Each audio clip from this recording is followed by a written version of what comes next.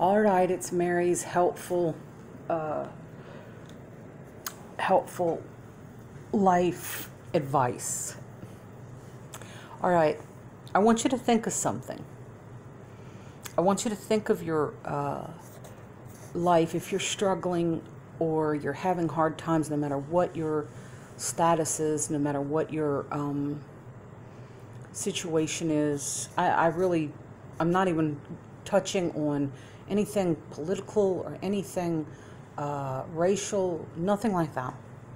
Any person, if you're listening, um, and you're having problems achieving anything, if you're having problems achieving a goal, or you find that um, you're in a rut, or you're having a block of some sort in your life, um, or you're um, just having a difficult time, you're depressed, which I suffer from a lot.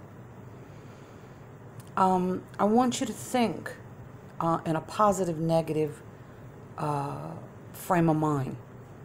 Because it's important, whatever frame of mind you have, it will definitely result and have a great um, influence on the outcome. Ultimately of not only where you'll be, but those around you. So listen to this little theory. I make these videos because I'm tired of talking to myself in my house. So I'm hoping somebody can utilize any of this. Think of yourself and what you're trying to achieve as long as it's not trying to, you know, cause hurt onto someone else because that'll always come back to you. But think of yourself in a pot or whatever your goal is in a positive uh, manner. All right. So if you wanted um, a promotion, um, if you are having family problems and you just want to get, you just want to have peace or just peace, feel successful in any way, shape, or form. Think of yourself as an apple. I know, wait a minute. Hear me out. Think of yourself as an apple.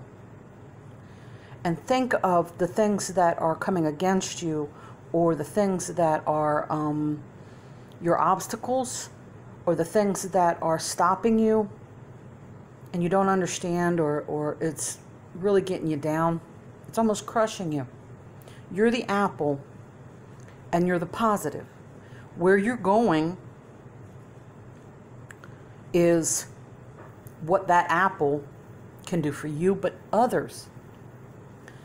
What's stopping you and doesn't want you to achieve to being an apple, whatever it is, whatever doesn't want you to achieve whatever the apple is, doesn't want you even to know what the apple is, doesn't, you don't, you're, whatever it is, think of it as a knife, as a negative, okay? It doesn't, it's going to cut you. It's going to cut you in slices because it doesn't want you to be a whole apple. In other words, whatever situation you want to achieve, think of it as it's trying to stop you, it's trying to destroy that. Okay? But a knife can only cut you into different slices. And not only cut you into different slices, as many times as it slices you, what is that? That's more apple to go around, correct? That's more slices to fortify your goal. It gives you more reason, it gives you more allies, it gives you more resources. Um, so the knife is actually doing you service. Not only when you cut an apple, what do you have? You see the seeds. Which means what? If it's a fertile apple, that means not only has it cut it cut the the idea or the ultimate goal into several slices so that you have more resources and more options. It can fortify on a bigger scale. But that knife that tried to destroy that has opened up and released seeds in which more apple trees may grow.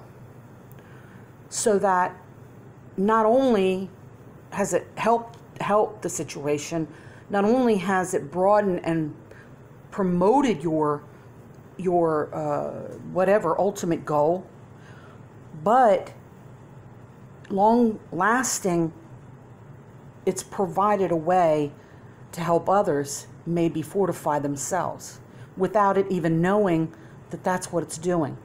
I want you to always remember that that if your apple or your ultimate goal or whatever it is you're trying to achieve or whatever it is in your life is good and fertile means the seeds are going to be fertile means the apple's not going to be rotten and it's going to fortify it's going to promote perpetuate you to higher levels than what you thought the knife was going to do and destroy the apple. But no. The knives in the world or the knife situations in the world actually not only do you better, but what? Overflows your and helps and promotes not just you, those around you, those that come and uh, uh, experience you, or um, even hear of you. I want you to remember that, and may God bless you.